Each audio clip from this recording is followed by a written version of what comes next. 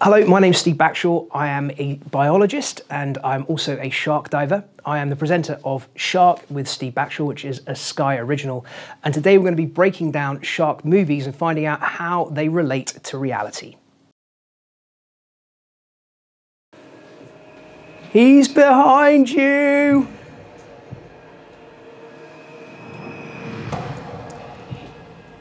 Wow.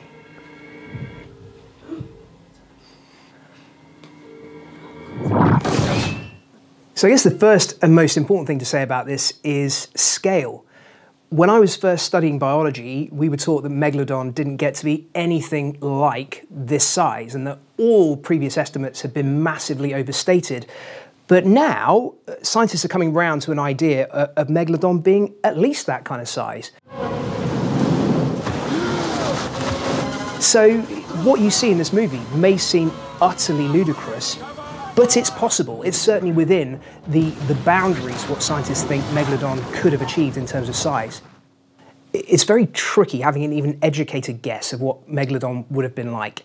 Its teeth are one of the most commonly found fossils in the fossil record. There are millions of them. Other parts of its body are almost non existent. So everything we're reconstructing from those teeth the closest modern simulacrum is the great white shark. Its teeth are very, very similar in their morphology to those of Megalodon. So you kind of take a great white and you scale it up. Hello. Well, hi. Name's Bruce. It's all right, I understand. Why trust a shark, right? Where do I start? I, I mean, first of all, sharks don't talk. Sharks aren't all Australian, although they probably have the highest diversity of shark species of anywhere in the world. But there are some things there that are really intriguing. So the picture of the uh, of the great white, it looks absolutely demonic because it has spilling rows of teeth coming out of its mouth, and that's exactly what great whites have. They have at least five rows of teeth which roll back behind the front active row of teeth, which fall out constantly throughout its life. It's losing them perhaps every few weeks and might go through 30,000 teeth in a lifetime.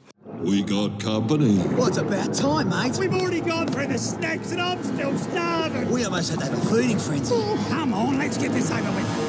So in this sequence, we've got three different species. It looks like great white, great hammerhead, and I, I guess mako uh, that are all hanging out together like they're like they're pals and they're, they're mates. Uh, in actuality, makos are a pelagic shark that's very rarely found close to land and tend to be solitary. Uh, great hammerheads are found in association with other species of sharks, but certainly not great whites or makos, um, and great whites, very rarely found in association with any other shark species. So the fish skeleton coming out of its mouth there, that's, that's real. Mako sharks are obligate fish feeders and very, very specialised in feeding on fast-moving fish. Hey, that's mine. Give Dory, me. cut Give out. me. Ow. Go on, Oh, Are you okay? Ow, ow, I'm ow. so sorry. Hey, you really clocked me there. Am I bleeding? Oh, Ow, ow, ow. Dory, are you okay? Oh.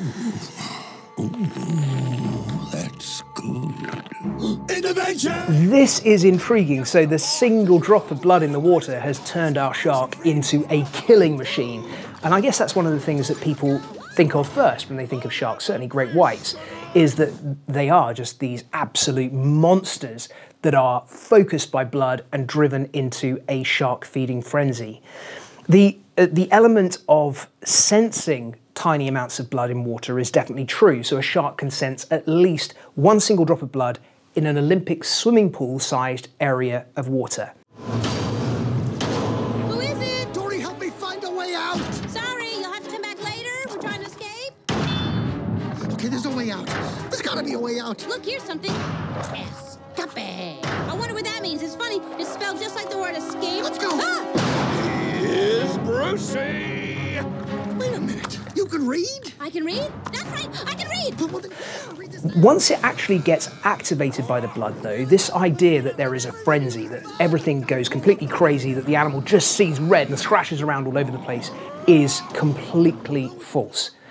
I have swum uh, at least 100 times, if not many more than that, in situations where you have blood and food in the water. You have sha- sharks zipping about your ears at top speed, snapping bits of food out of the water, and they still avoid you. They are still so focused on their source of food, and it's not you. For me, the most important thing is making sure that people know they don't eat people. And, you know, there are a handful of people harmed by sharks around the world each year, but it is statistically insignificant. You're much more likely to be killed taking a selfie or by stationary or by a falling coconut or by a falling vending machine. You're hundreds of times more likely to be struck by lightning.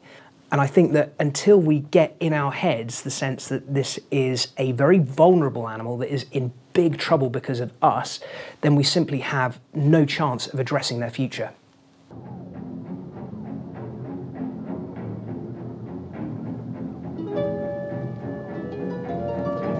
So, Jaws. Had to be Jaws. The two single notes of music that have done more damage to any other species in history. Um, I love Jaws. It's one of my favourite films of all time. Um, what it says about sharks and what has happened as a result is pretty awful.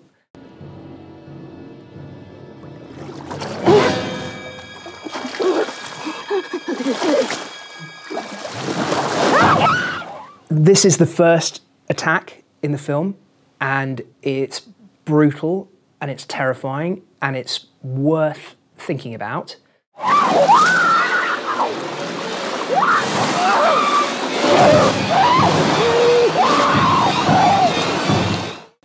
There are ways that you can put yourself into danger with a shark, and there are ways that you can keep yourself away from it. And I would say that one of the critical things is not swimming at the surface uh, during those times when a crepuscular shark would be most active, so dawn and dusk, and into the hours of early evening. Martin, there are all kinds of sharks in the waters, you know? Hammerheads, white tips, blues, makos. So we are Cape Cod, northern uh, eastern seaboard of North America. All the shark species that he mentions there can be found there, including great whites. And the chances that these bozos got the exact Oh, shark now, there's no other sharks like this in these waters. It's a hundred to one. A hundred to one. Now, I'm not saying that this is not the shark. It probably is, Martin. It probably is. It's a man-eater. It's extremely rare for these waters. But the fact is that the bite radius on this animal is different than the wounds on the victim. So the bite radius would tell you about the size of the animal, but each individual indentation would give you a better idea of what shark actually did the biting. And in a lot of cases, because teeth are lost constantly, you might well find one in the bite.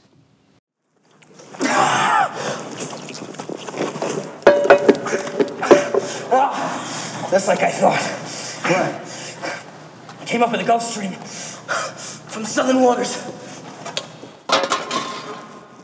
I love this scene so much. He didn't need a car, did he?